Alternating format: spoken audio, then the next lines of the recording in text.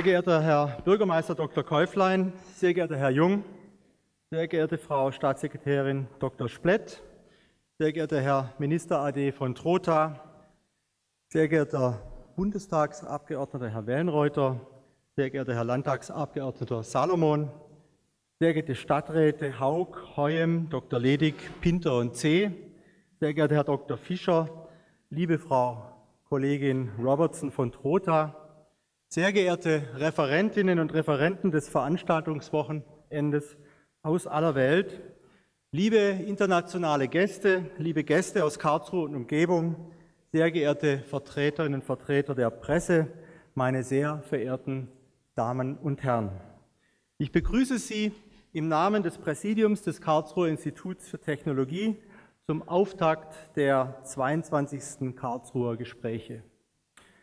Eine besondere Ehre ist es mir, den heutigen Festredner am KIT willkommen zu heißen zu dürfen. Herzlich willkommen, Herr Leo Hollis. Ich bin sehr gespannt auf Ihren Festvortrag, den Sie mit dem Titel versehen haben.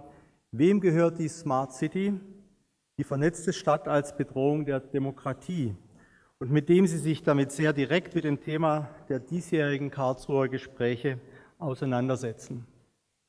Sehr gerne hätte ich heute Abend auch Herrn Dr. Axel Navrat, Vorsitzender, den Vorsitzenden des Vorstands der L-Bank, persönlich begrüßt. Er ist aber heute Abend leider dringend verhindert.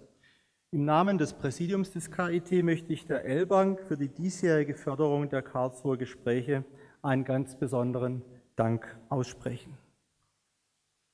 Ja, genau.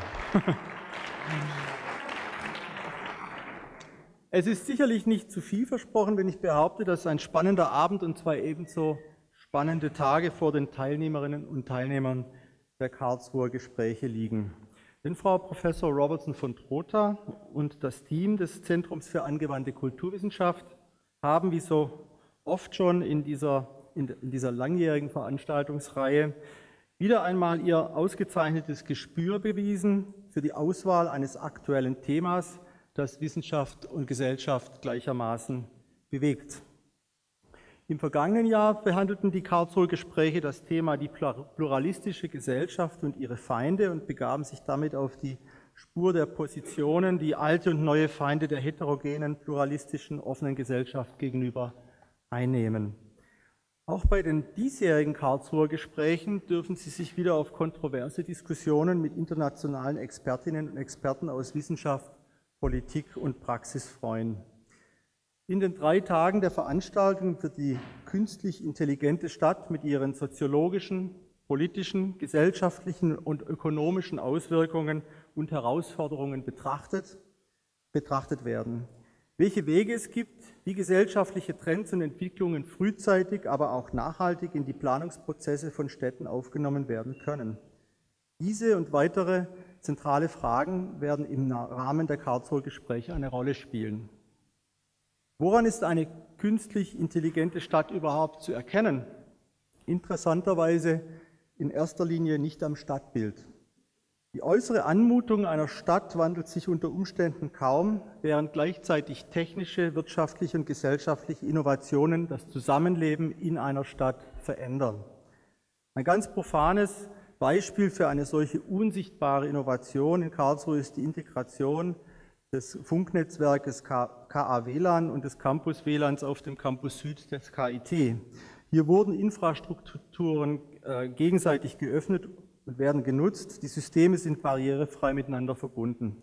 Das ist aus Karlsruhe nach wenigen Jahren schon nicht mehr wegzudenken und ein unsichtbares, aber wirkungsvolles Beispiel für die zahlreichen Wechselwirkungen des KIT mit der Stadt Karlsruhe, mit der die Forschungsuniversität allein schon aufgrund der privilegierten Innenstadtlage des Campus Süd auf vielfältige Weise verknüpft ist. Das Karlsruher Institut für Technologie hat mit seinen mehr als 25.000 Studierenden und 9.000 Mitarbeitern und Mitarbeitern in vielerlei Hinsicht selbst die Eigenschaften einer mittelgroßen Stadt. Wenn die Angehörigen des KIT seine Einwohnerinnen und Einwohner wären, wäre die Forschungsuniversität eine weitere Stadt in Baden-Württemberg, die sich rein zahlenmäßig auf dem Niveau von Sinsheim, Backnam oder Kehl bewegt. Die Menschen, die täglich am KIT ein- und ausgehen, nutzen zahlreiche Infrastrukturangebote. Den Hörsaal, in dem Sie gerade sitzen, das KIT-Shuttle, das Sie vom Campus Süd in, die Karlsruhe in, in der Karlsruhe Innenstadt zum 11 Kilometer nördlich gelegenen Campus Nord fährt, die KIT-Bibliothek, die Mensa, das WLAN, das alles umfasst. Und natürlich haben auch bei uns Hard- und Softwaresysteme Einzug gehalten, mit denen Lehrveranstaltungen und Prüfungen gemanagt werden, Zugänge zu physikalischen und äh, virtuellen Räumen erlaubt oder verwehrt werden, Bücher entliehen werden, auch nachts um drei und ganz ohne Kontakt zu Bibliothekspersonal und das seit mittlerweile zehn Jahren und vieles, vieles andere mehr. Nicht weiter verwunderlich also, dass wir uns viele Fragen hinsichtlich der Weiterentwicklung von Städten auch auf unserem Campus stellen. Und auch hier stellen sich viele Fragen. Ist Digitalisierung von Geschäftsprozessen an und, sich, an, und an für sich smart? Welche Daten fallen dabei an? Wie sorgen wir für Informationssicherheit? Wie stellen wir sicher, dass das, was wir einführen, von den Menschen angenommen wird und dass die Technologien, von denen wir uns abhängig machen, sicher und nachhaltig betrieben werden können? Alle unsere Aufgaben, ob in Lehre, Forschung, Innovation oder Administration, sind mittlerweile vom digitalen Arbeitsraum durchdrungen. Das KIT baut derzeit ein Digital Office auf, das die Digitalisierung sowie die Fortentwicklung der Gesamtarchitektur hinsichtlich der Informationsverarbeitung und Versorgung am äh, KIT unterstützt. Vergleichbare Konzepte sind sicherlich auch in der Stadt gefordert, wenn es etwa um die Digitalisierung der öffentlichen Verwaltung und ihrer Dienstleistungen für die Bürgerinnen und Bürger geht. Der Anspruch des KIT ist es, zur Erforschung, Entwicklung und Planung der Stadt der Zukunft in allen wesentlichen Aspekten beizutragen.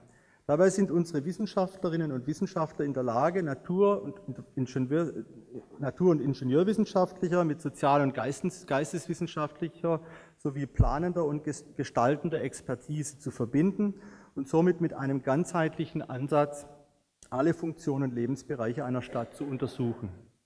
Das KIT steht, stellt damit Orientierungs- und Handlungswissen für gesellschaftliche Akteure und Entscheidungsträger auf lokaler, regionaler, nationaler und internationaler Ebene zur Verfügung. In einer Stadt, die zunehmend smart wird, also in der also intelligente Häuser vorhanden sind, die Beleuchtung und Heizung regeln und Haushaltsgeräte miteinander sprechen, entstehen jede Menge neuer Daten und Informationen über die Bewohnerinnen und Bewohner. Wie angesichts der neuen Möglichkeiten als die Privatheit der Nutzer gewährleistet werden kann, untersucht eine Forschungsgruppe um Professorin Maria Zitterbart am Institut für Telematik. Sehr sichtbar in der Karlsruher Oststadt ist das Forschungs- und Entwicklungsprojekt Quartier Zukunft, ein Reallabor, das ein ganzes Stadtquartier und seine Menschen fit machen möchte für die Zukunft. Gefragt wird, wie können wir heute und morgen in der Stadt gut leben und dabei um Mitwelt, Umwelt und, nach, äh, und auf Nachwelt achten? Dabei soll das, was ist, nicht großflächig neu gemacht, sondern im Miteinander von Bürgerschaft, Wissenschaft, Politik und Privatwirtschaft behutsam umgewandelt werden. Als Universität verfolgen wir den Anspruch, unsere Studierenden durch ein forschungsorientiertes universitäres Studium nicht nur fachlich exzellent auszubilden, sondern sie auch auf verantwortungsvolle Aufgaben in Gesellschaft, Wirtschaft und Wissenschaft vorzubereiten. Dazu gehört auch, den Lebensraum Stadt aktiv mitzugestalten und weiterzuentwickeln. Ich bin überzeugt, dass Wissenschaftlerinnen und Wissenschaftler für große gesellschaftliche Fragen nur im Dialog mit der Gesellschaft Antworten finden können. Da ist es meiner Ansicht nach sehr wichtig, dass Wissenschaft und Gesellschaft immer wieder miteinander ins Gespräch kommen. Die Karlsruher Gespräche bieten ein Forum, in dem unterschiedlichste Themen aus vielen Perspektiven diskutiert und betrachtet werden können. Ich bedanke mich daher ganz herzlich bei Ihnen, Frau Robertson von Trotha, für die Konzeption und die wissenschaftliche Leitung dieser Veranstaltungsreihe, die uns, die uns solche Dialoge ermöglicht. Ich danke Frau Christine Melcher, für die Veranstaltungsorganisation, Frau Anna Moosmüller für die Presse- und Öffentlichkeitsarbeit und dem gesamten ZAK-Team, das mit seiner wertvollen Arbeit jährlich die Karlsruher Gespräche auf die Beine stellt und übrigens über das ganze Jahr verteilt auch zahlreiche weitere interessante Veranstaltungen anbietet, die ich Ihnen wärmstens empfehle. Vielen Dank auch an die Unterstützer der 22. Karlsruher Gespräche, Den diesjährigen Sponsor L-Bank hatte ich bereits erwähnt. Unter den zahlreichen weiteren Partnern möchte ich an dieser Stelle die Industrie- und Handelskammer Karlsruhe hervorheben, die durch die Bereitstellung ihrer Räumlichkeiten morgen einen wichtigen Beitrag leistet. Herzlichen Dank dafür.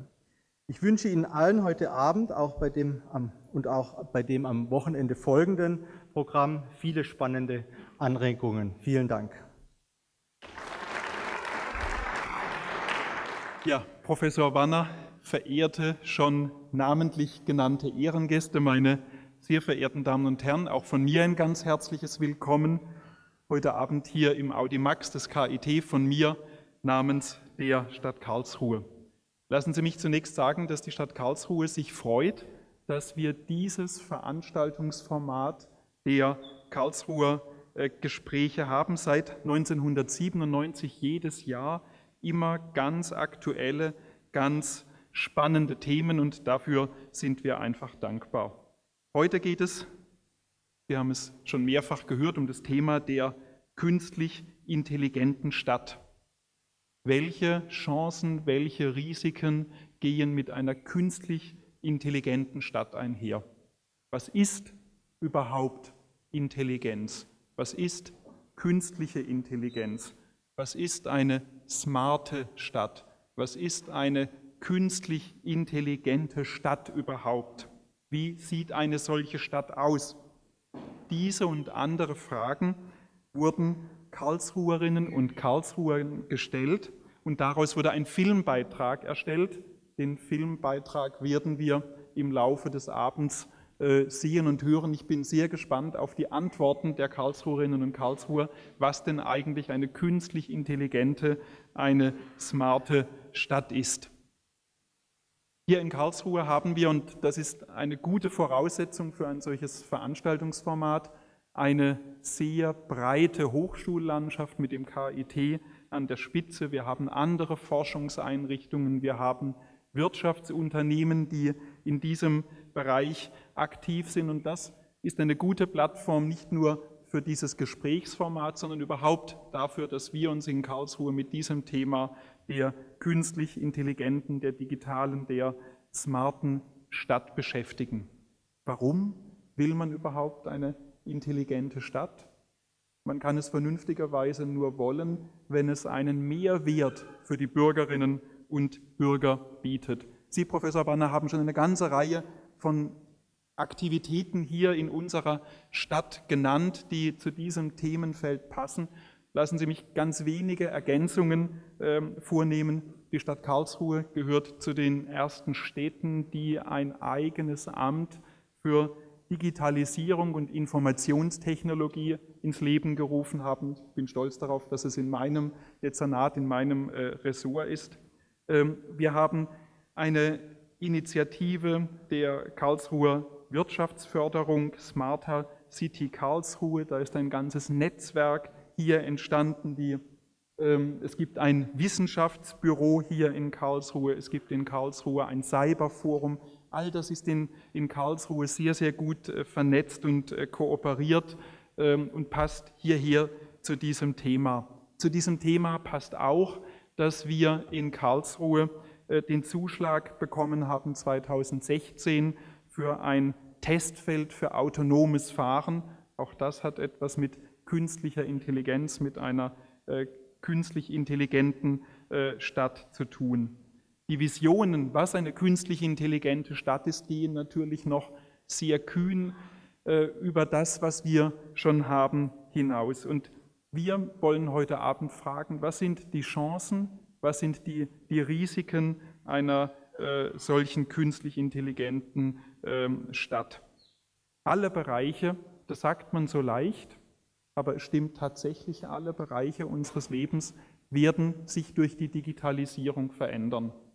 Das sagen Politiker gern, das eignet sich für Begrüßungsreden dieser Art, ähm, aber es stimmt tatsächlich, alle Bereiche werden sich verändern. Die Stadt der Zukunft wird aufgrund der Digitalisierung ganz anders aussehen. Und noch einmal, wir machen das nicht oder wir sollten es nicht machen, weil es Selbstzweck ist, sondern wir sollten es machen, weil es einen Mehrwert äh, bietet. Und deswegen braucht es, das ist meine These, deswegen braucht es eine Abschätzung der Folgen. Wir müssen versuchen zu prognostizieren, was sind die Folgen für die Bürgerinnen und Bürger einer solchen künstlich intelligenten Stadt. Was sind die Folgen? Diese Folgen zu benennen, das ist Sache der Expertinnen und Experten. Die Bewertung dieser Folgen, das ist aber eine gesamtgesellschaftliche Aufgabe. Folgen, Folgen, Abschätzung davon ist in der Politik äh, zu Recht viel die Rede. Noch einmal, die Experten müssen sagen, was sind die, die Folgen, die potenziellen Folgen, aber die Gesellschaft muss bewerten, ähm, was sie für nützlich hält, was, was einen Mehrwert bringt und was eben nicht. Und genau an, in diesem Spannungsfeld sehe ich die Karlsruher Gespräche.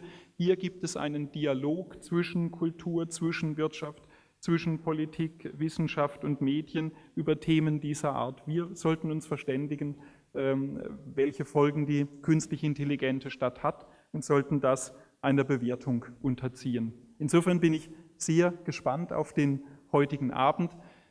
Darf mich ganz kurz dem schon genannten Dank an die Unterstützer anschließen, an die L-Bank, die das äh, mit ermöglicht, an das ZAK, das das alles hier ähm, veranstaltet. Frau Melcher ist schon genannt worden und natürlich muss ich äh, namentlich nennen und hervorheben, Frau Professor Caroline Robertson von Drotha. Ohne sie gäbe es, ohne ihr Engagement, ohne ihre Klugheit bei der Themenwahl, äh, gäbe es diesen Abend nicht. Also namens der Stadt Karlsruhe Ihnen und Ihrem ganzen Team ganz herzlichen Dank. Insofern wünsche ich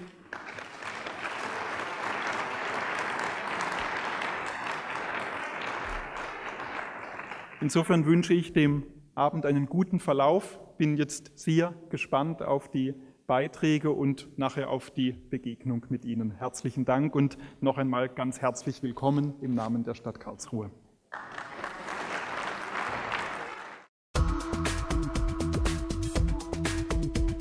Die 22. Karlsruher Gespräche.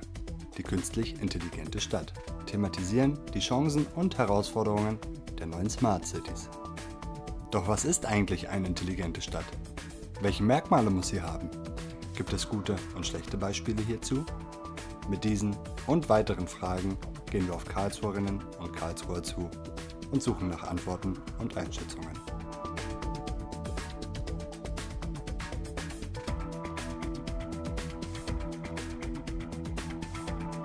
Eine intelligente Stadt ist ein Organismus. Ein Organismus, das funktioniert. Und äh, Intelligenz steckt eigentlich äh, daran, dass Dinge einfach von selbst funktionieren. Wir denken gar nicht daran, wie ein Organismus funktioniert, solange wir keine Probleme haben. Das heißt, einfach ausgedrückt, eine intelligente Stadt ist ein gut funktionierendes Organismus. Intelligenz ist ja zunächst mal eine ähm, zutiefst menschliche Eigenschaft. Ähm, daher stammt das Wort, hat mit abstraktem Denken zu tun und auch mit Vernunft. Insofern ist für mich zunächst mal eine intelligente Stadt eine, eine menschliche Stadt, eine zutiefst menschliche Stadt. Smart City allerdings als Planungsziel zu erheben und eine, eine sozusagen eine bloße Smart City ähm, wäre ein ähnliches Monstrum oder wären, würde ein ähnliches Monstrum gebären wie jetzt die autogerechte Stadt in den 60er Jahren.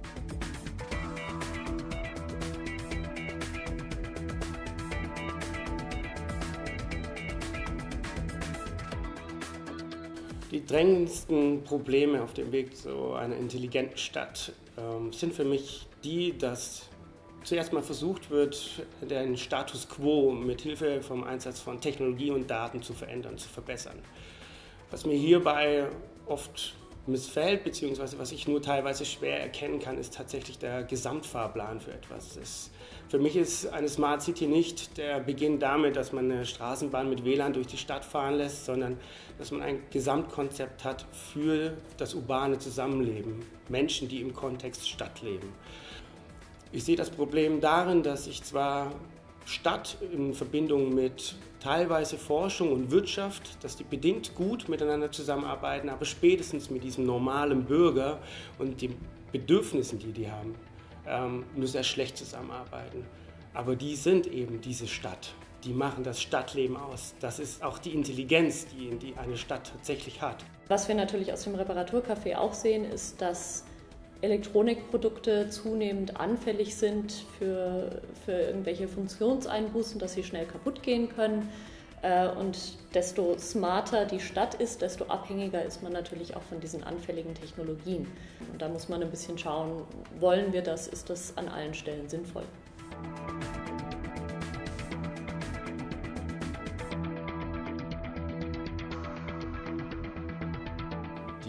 Intelligente Stadt gibt agile, offene, kreative Antworten äh, auf die Anforderungen der Bürger äh, und bietet Arbeits- und Wirtschaftsraum in einem, äh, der den Zukunftsansprüchen genügt. Das heißt, die Teilung zwischen Arbeiten und Leben und Wohnen entfällt. Die Umsetzung der künstlichen Intelligenz in der modernen Stadt ist ein sehr langsamer, unsichtbarer Prozess. Das heißt, diese neuen Technologien werden als Ebene in die Problemlösung eingebaut, um eben im Bereich des autonomen Fahrens oder auch des Smart Grids äh, hier optimale Lösungen zu entwickeln. Für den Bürger bleibt es ganz weitgehend unsichtbar.